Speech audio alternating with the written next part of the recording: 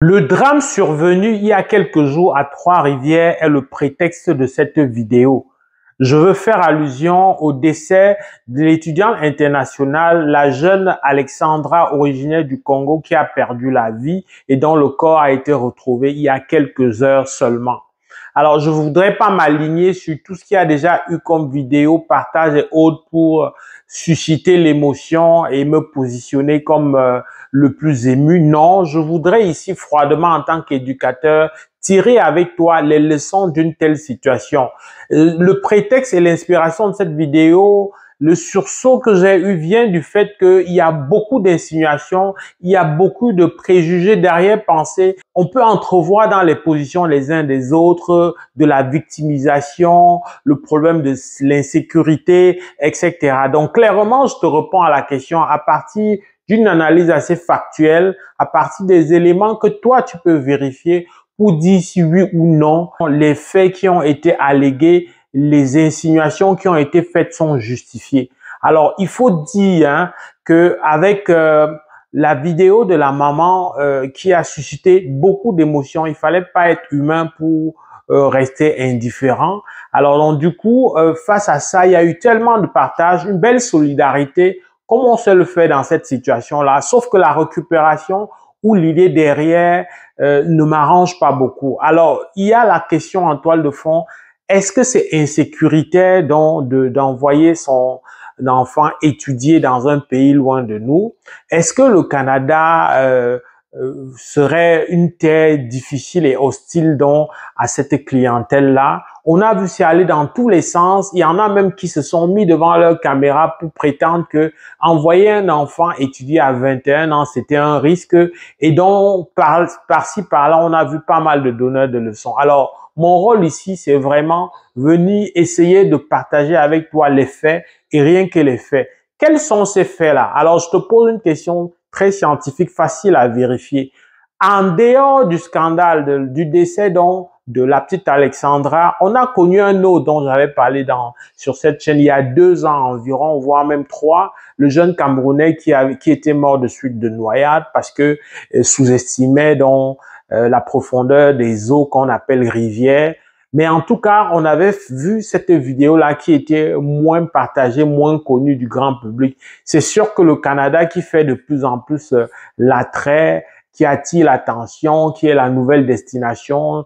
Tout le monde surfe sur le Canada, tout le monde est capable de donner des informations sur le Canada. Et là-dessus, tu peux me croire, il y en a même qui m'informent sur des choses qui sont au Canada avant que moi-même je ne sois au contact. Donc face à, tout ça, il y en a qui laissent penser que c'est insécurité. Alors, il faut revenir et remettre les pendules à l'heure. Le Canada est un pays hautement sécuritaire et donc tout ce qui peut être fait pour mettre en sécurité les uns et les autres, on ne lésine pas dessus parce que la moindre insécurité serait, aurait un impact direct non seulement sur le politique, mais également sur l'économie. Il faut savoir que les étudiants internationaux, ça apporte beaucoup de devises au Canada. Donc, on ne peut pas, sur la base des faits, voilà, sporadiques, isolés, prétendre que c'est une mauvaise chose, remettre subitement en cause le fait d'être au Canada. Je te dis et je te mets au défi, est-ce que toi, dans ta vie, tu ne connais pas une personne, même beaucoup plus âgée,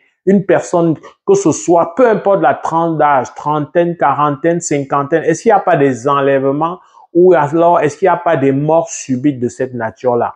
Les gens ont très vite fait, on a vu des voyants, des médiums s'illustrer, utiliser cette tribune pour se mettre en avant, ce qui est malheureusement déplorable sous le prétexte d'une sorte de solidarité qui était infondée, mais qui clairement relève de la manipulation, de l'instrumentalisation de la situation à des fins personnelles. Sinon, comment croire que face à une telle situation, on commence à indexer les uns et les autres, on commence à pointer les coupables, on commence à estimer que on n'a pas suffisamment bien fait? Si la police ne fait pas le protocole qui a été mis en place, c'est le même protocole qui existe dans tous les cas de figure, peu importe la race, peu importe la région, c'est un protocole uniforme. Donc, il faut arrêter de laisser croire et de penser qu'il y a des relents de, de, de racisme ou de discrimination, etc. On ne peut pas continuer à mettre de l'émotion comme un argument comme une façon de se défendre, comme un moyen de défendre. Il faut regarder les choses froidement. Mais il faut savoir que la mort fait partie du coût normal de la vie. Donc, vouloir instrumentaliser et remettre en cause tout ben, ça n'a aucun sens. Le Canada est hautement sécuritaire, les statistiques parlent d'elles-mêmes et donc on n'a pas besoin de faire des démonstrations du midi à 14 heures pour dire que ben, il y a eu un problème d'insécurité ou pas. Il faut savoir que lorsqu'on est d'un certain âge, notamment au-delà de 18 ans pour le cas particulier du Québec, on est libre de ces mouvements, on est libre d'aller et venir. On ne contrôle pas les fréquentations des uns et des autres.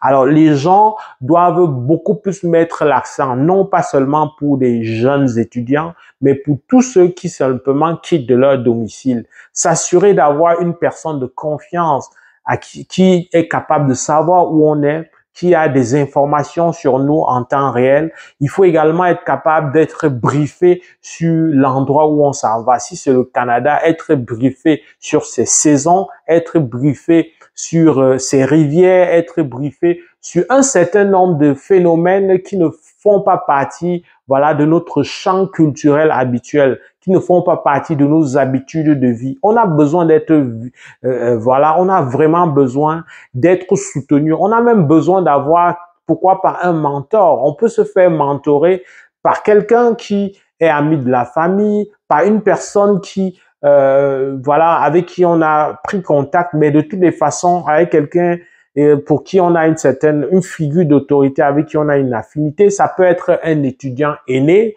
Bref, de toutes les façons, il faut s'appuyer. Ça, c'est davantage ce qu'il faut dire. Mais remettre en cause tout parce qu'il y a eu un décès, j'estime que c'est un peu exagéré parce que la mort, malheureusement, fait partie du coût normal de la vie. On meurt au Canada, on peut aussi mourir en Afrique, on peut mourir à toutes les occasions. Dès qu'on est né, pendant même qu'on vit au monde, on meurt.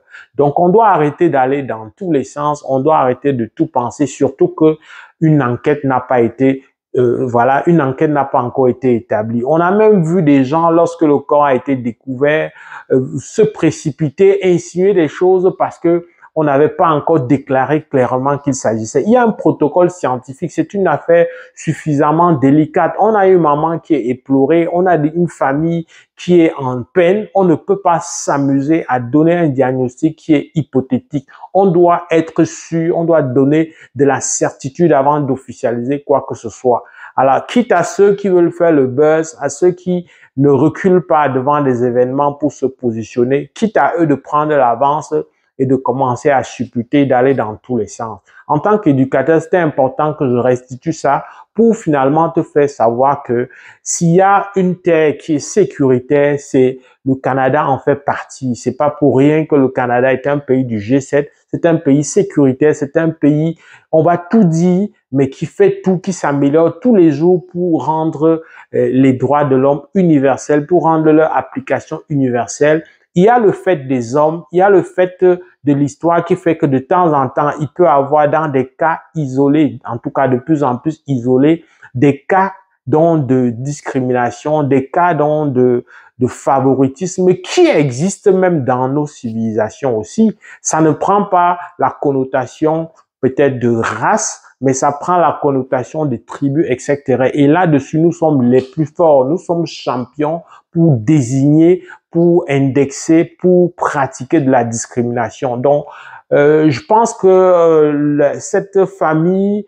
a besoin de plus de quiétude et qu'on arrête d'aller dans tous les sens et de mélanger tout, de dire tout et n'importe quoi et remettre en cause tout, y compris le voyage des étudiants. C'est en venant au Canada que plusieurs familles, pendant plusieurs années, ont aidé, d'abord en tant qu'étudiants ou pour certains résidents permanents, ont aidé, ont soutenu leur famille et ont même soutenu l'économie de leur pays. Donc, il faut faire attention et éviter d'aller dans tous les sens pour une affaire qui relève de l'ordre normal des choses, même si ce n'est pas ordinaire qu'une maman perde un enfant aussi jeune. J'espère que cette vidéo vient quand même essayer de ramener les uns et les autres sur ce que, euh, voilà, on, euh, sur le couloir de l'émotion, sur le couloir de l'invective et de la remise en cause de tout et n'importe quoi. Si cette vidéo t'a plu, partage, fais savoir au plus grand nombre. Mon nom est Valérie Jules Camdem. Avec beaucoup de plaisir, on va se retrouver dans le cadre d'une prochaine vidéo. Porte-toi bien. Boulop